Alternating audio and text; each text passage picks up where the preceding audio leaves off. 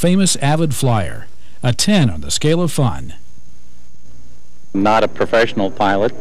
I've just enjoyed flying, and I decided that uh, the kind of airplane I wanted was uh, an airplane of the class that I saw in an Avid Flyer. Yeah, yeah well, special performance is is important. Uh, we need the off-field performance, of course, that I was looking at. I got tired of going from airport to airport. I want an airplane that can get me back into the back country, the mountains, and that sort of thing.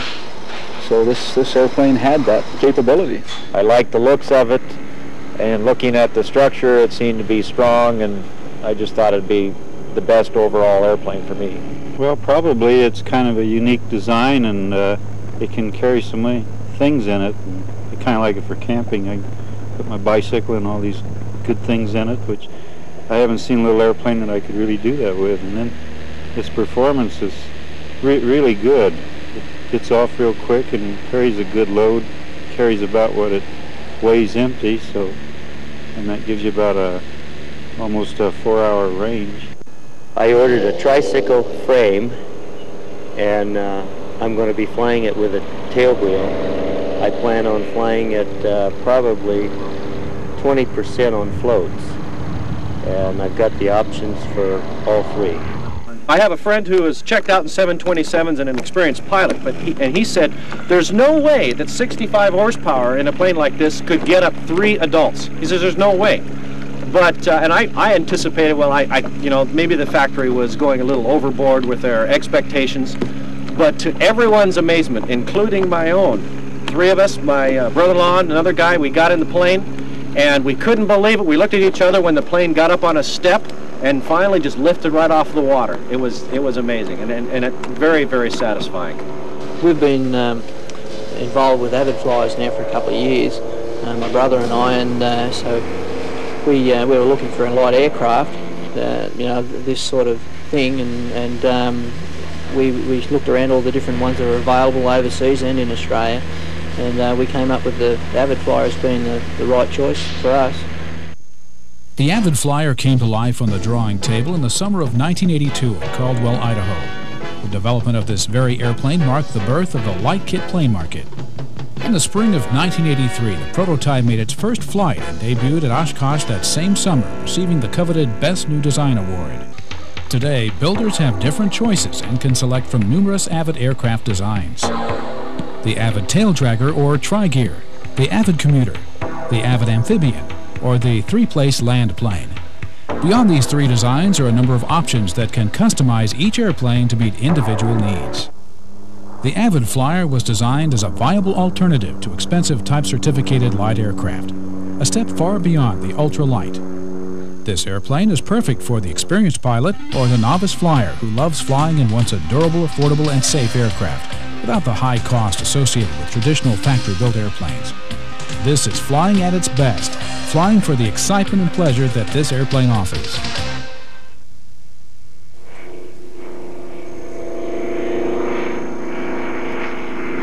Nothing can match the thrill of low and slow flight. This is where the Avid demonstrates unequaled short takeoff and landing capabilities.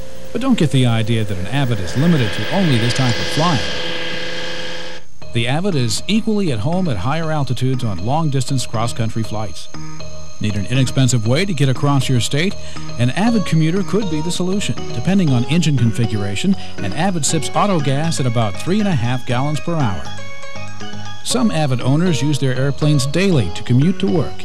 Imagine leaving the hassle of rush hour traffic thousands of feet below you. This Speedwing version, zipping along at 110 miles per hour, can go nearly 400 miles on one tank of fuel and takeoff performance is still spectacular by anyone's standards. The STOL wing can offer takeoffs in as little as 65 feet and maintain slow flight of only 30 miles per hour.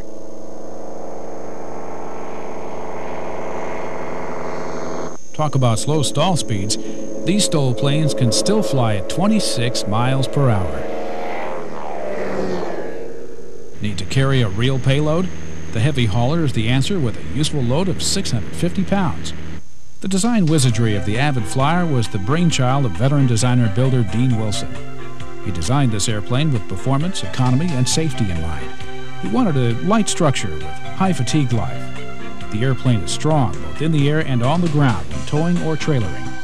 Dean also wanted wings that easily folded without having to disconnect any flight controls. The result is a design that eliminates costly hangar fees by folding in two or three minutes, not hours, and by one person. With wings folded back, the Avid easily stores away in a garage.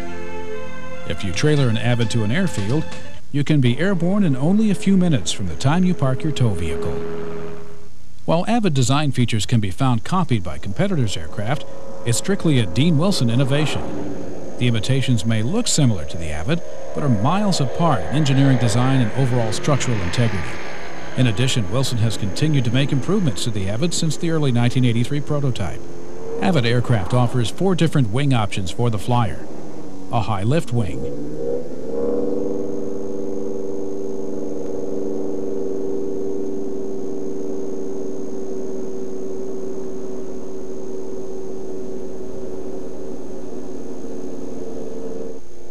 a speed wing,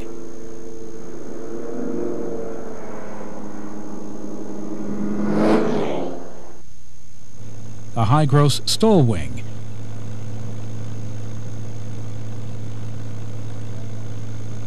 and an aerobatic speed wing.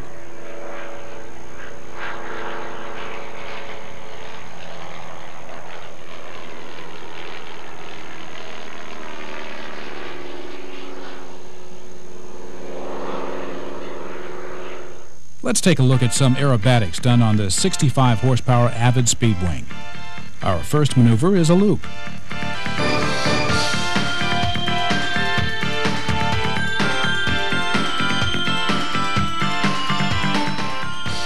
Followed by a four-point roll to the left.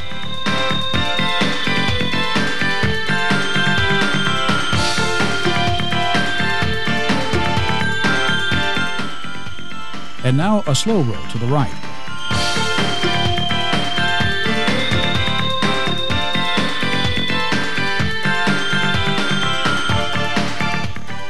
Now let's do a wing over and finish up going into a spin.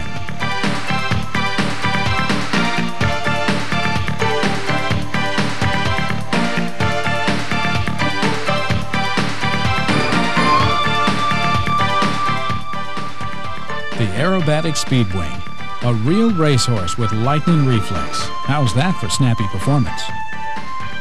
By building a second set of wings, you can have different versions of an Avid depending on what type of flight is desired. You can have a speedwing or aerobatic aircraft Monday through Friday, and on the weekends be flying a STOL. It's like having a second airplane. All Avids purchased as tri-gear can easily be converted to tail draggers. Merely reposition the main gear, remove the nose gear, and bolt on a tail wheel. A simple process. At the factory, the tri-gear fuselage is built with mounts for both landing gear configurations. It's here where highly qualified avid craftsmen do 49% of the work, and this is the hard part. The remaining 51%, the fun stuff, is done by you. All the welding, machining, and structural elements are completed at the factory. Parts are carefully inventoried, individually packaged, and labeled prior to crating. Everything is included, down to the last pop rivet and aircraft bolt. The amphib is even crated with a basketball. More on that later. The only thing you need to supply is the colored paint. Kits are shipped from Caldwell, Idaho. Shortly after ordering, be ready for one bodacious box to arrive. It's about 14 feet long, 4 feet tall, and 4 feet wide. When it arrives, you'll begin a unique experience that Avid owners worldwide have likewise done. Let's take a look at the building phase. All you need are the basic tools that any average mechanically skilled person possesses. These are tools found at most hardware stores. Many kit planes can take years to build, but the Avid was designed with the difficult work already done. This FAA-approved kit takes the average builder about 400 to 500 man-hours to complete. A show-quality airplane could involve more time to finish. Well, I had a friend help me build it, and we probably had oh four to five hundred hours in it. We we didn't keep track, but uh, we put it together in about three months. Uh, I had built a little bit in the ultralight stuff before, but no real airplane. Yeah, this was the first kit I built. And I did it in two months, but I didn't do a whole lot else. Two months? Two months. How many hours was that? Uh, probably getting close to 400. Avid kits have been purchased by people all over the world. The high price of gas overseas makes the Avid a perfect choice, and the Avid Flyer is the leading kit plane sold in Europe. Foreigners who have heard of the Avid travel to the U.S. to events like Sun and Fun in Florida to investigate the many designs on the market. Avids are the kit plane of choice in Italy. First of all, the um, the machine is very uh, very nice.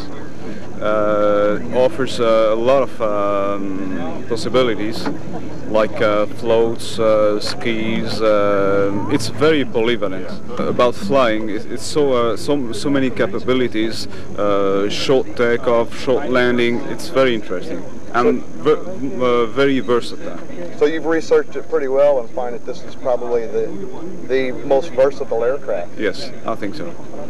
First thing I can remember was seeing the aircraft take off, and that was the, the biggest shock, I, I suppose, was the, the, climb out and things like that. And then when I finally went for the fly in it, and it was uh, it was really good. You know, I, I, was surprised with the, the ease of flying it, and we had it in some rough conditions, and it handled them quite well. You know, it flew like a proper little aeroplane, so well, I was really happy with it.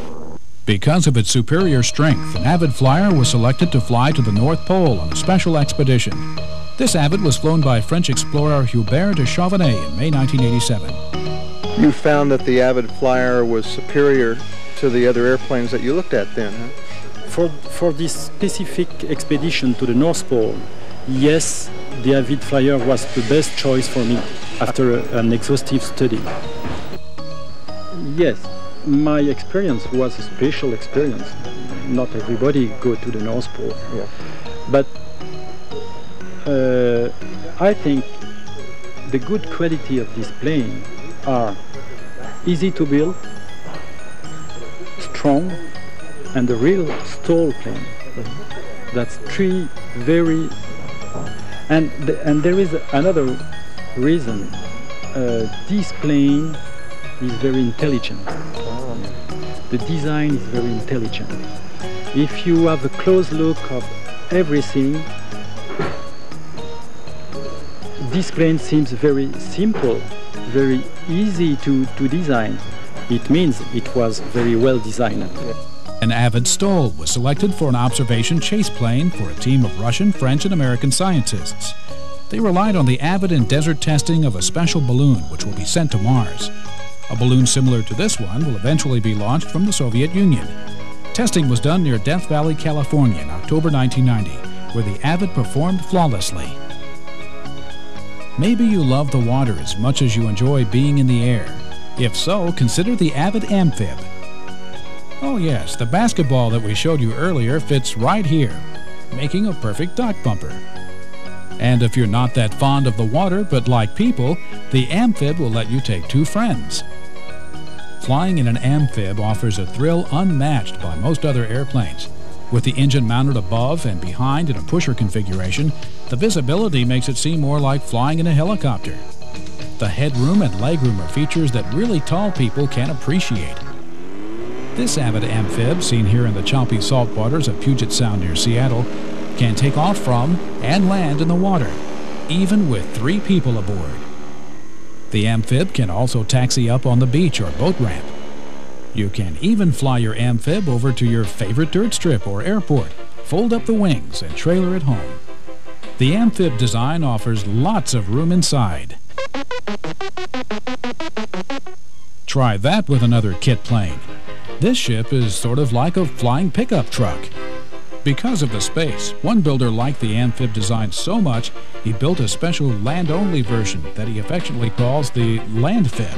It's basically the same airplane, but with all the flotation gear removed. Well, one thing is it's a pretty, I think, a pretty unique design in that the wings can fold. You can take it home with you, and uh, it's a short field uh, capability. Uh, I think has a lot to be said for it, really. And don't forget, these planes, just like the Avid Flyer, feature easy-to-fold wings and trailerability. Perhaps you desire a more traditional-looking airplane and still want to land on water. No problem. Take a look at this beauty. Judged best looking kit plane at Sun and Fun 1990. This plane was built in Montana by first time kit builder Robbie Holman. Robbie, what's it like skimming across the water in your Avid? Well, it's something that's hard to explain unless you've done it because it you're just skimming the water and you can touch down and and uh, if you decide to stop, you can stop. If you don't, you can add the power and take off and you can zoom. There's nothing in the way. You won't make anybody mad or get in trouble and it's kind of my way of buzzing. An Avid Flyer equipped with amphibious floats means you can land on your favorite lake or river and taxi up the beach or boat ramp. No water? Then just land your amphibious Avid on a regular runway. This Avid is landing in a 14 mile per hour direct crosswind.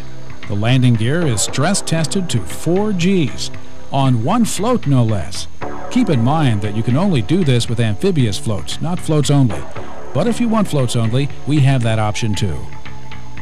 Do you have a motorhome or travel trailer? If you do, schedule time with our factory. Hook up your rig to electricity and water at our expanded building facility. And take advantage of our Builder's Assist program. Avid is one of the few manufacturers who offer this service, not because our kits are difficult to build, but some people, such as busy professionals or eager flyers, wish to expedite their assembly time or want guidance over a specific phase. Everything's handy here, and I can do uh, in five days like I've been here four days already, and I've already probably finished uh, six weeks of work, three to six weeks of work if I would have had it at the house on my spare time. I had the time off, so I came up, and it's worth it. You can build your Avid under the watchful eye of a team of factory specialists. We love your company and know that you'll enjoy working with our folks here. No RV? Avid Aircraft has agreements with local motels. We can help you get special rates on quality lodging in beautiful Caldwell and Nampa, only minutes away from both our factories and close to Boise. Let's take a brief look at some of the options. When winter rolls around, most flyers find themselves grounded because of snow. But the Avid is an all-season airplane. Skis allow you to easily take off and land on snow-covered runways or fields. This type of flying offers pleasures experienced by few kit plane owners. Our optional skis are kind of like amphibious floats. You can land on either snow or a clear asphalt surface. When considering buying a kit, verify if the competitor offers this type of ski. You'll probably find that if they do offer skis, they are most likely good for snow only. The really big difference is you won't be able to land on asphalt or other dry surfaces. Well, you're probably saying this all sounds like terrific fun, but when there's snow on the ground, it usually means it's cold outside. No problem. The optional cabin heater can break the chill and allow you to fly in the dead of winter. Special custom interiors are available in a choice of colors. And electric starter. The tow bar allows you to pull your Avid along at freeway speeds to your local airport or dirt strip. By the way, the original Avid prototype was towed on its own wheels from Caldwell, Idaho to Oshkosh 83 and back, a trip over 3,000 miles. Extra tanks are available in 14 or 18 gallon capacities and provide a total of 36 gallons in the speed wing and 28 gallons in the STOL wing.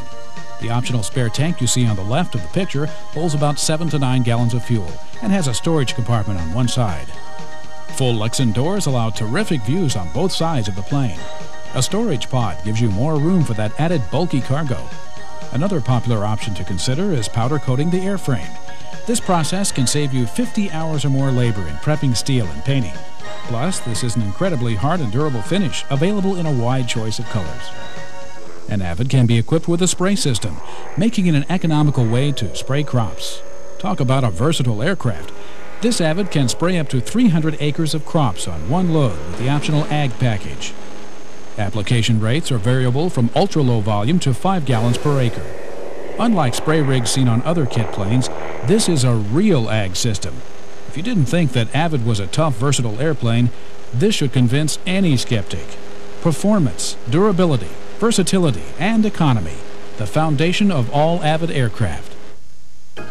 A typical workday at Avid begins at 7 a.m. and ends at midnight. Our goal is to stay ahead in the manufacturing process to ensure that there is a surplus of parts in our inventory when kits are shipped. What about those parts? Concerned that they all fit? Here's the honest answer that we received when we asked builders about their planes. Parts fit good. Yeah, there's uh, reaming and drilling and a few things, but basically the parts fit real well. Did you have any problems with the Avid aircraft with the parts going together well? No, they they all went together real well. But the only thing we had to do was a little bit of filing and uh, reaming out the various holes that the bolts went through. Uh, I was really surprised that they uh, did a real nice job. Uh, we didn't have any problems at all with fit.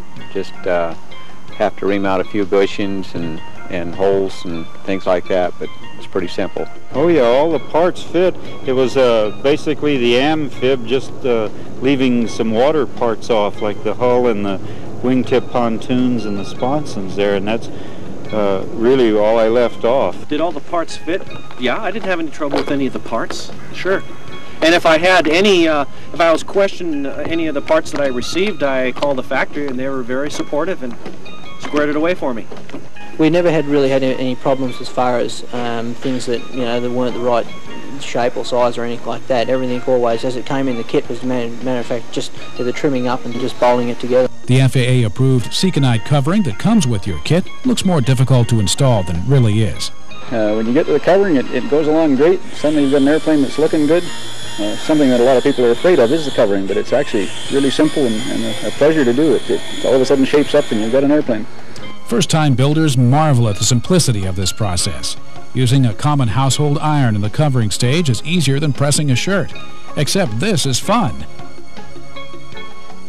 Take the Avid Challenge and find out why Avid is the best-selling kit plane in the world. Investigate the kit plane market and decide what type of flying you would like to do. Determine your budget and narrow down the field. We're confident that you'll choose one member of our Avid family. Check with your local Experimental Aircraft Association to find kit builders. Then, ask these builders lots of questions about the quality of the kit, support after the sale, ease of assembly, and if their order was shipped complete. Avid is not the only kit plane manufactured in Idaho, but Avid is the most popular and best-selling kit plane in the state. Local folks have the advantage of having a pair of reputations in their own backyard. Word-of-mouth advertising is our best form of local marketing. If possible, invest in a trip to Idaho and visit our factory near Boise. We don't offer a slick showroom with overstuffed sofas and flashy photos on the walls because we put our money in our airplane, not in fancy advertising. And most important, someone has to pay for all that, and it's always the customer. Avid Aircraft invests in research and development, and we offer more options for our airplanes than our competitors. We know you'll be impressed with the quality of our aircraft, products, and people. Our beauty is under the paint, and our people are our pride. If you do visit our factories, you might even bump into Dean Wilson if he isn't at the drafting table or tied up building some new project for a global expedition.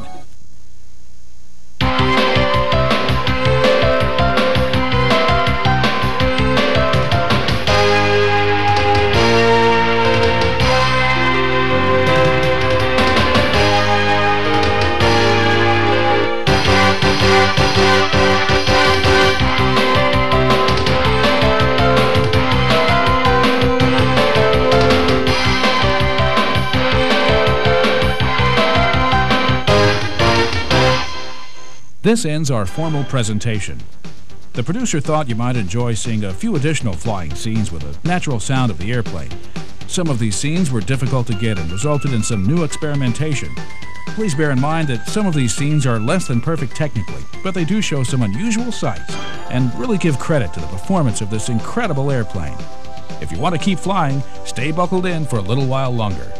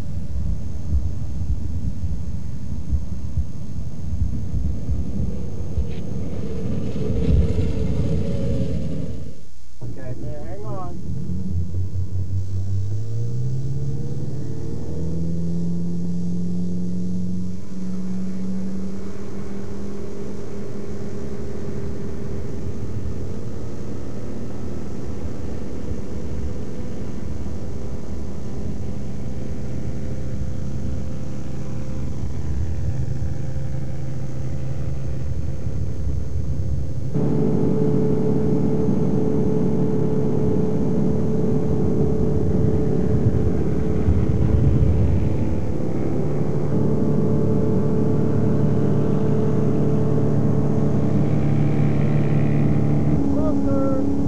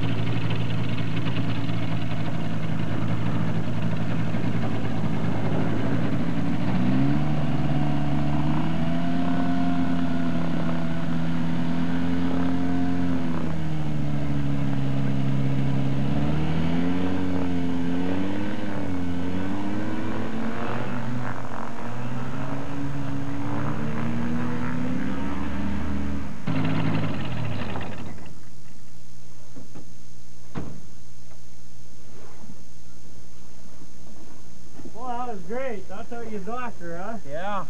Well, these amphibious floats, you can just go right up on shore. Didn't realize you could do that. That's great.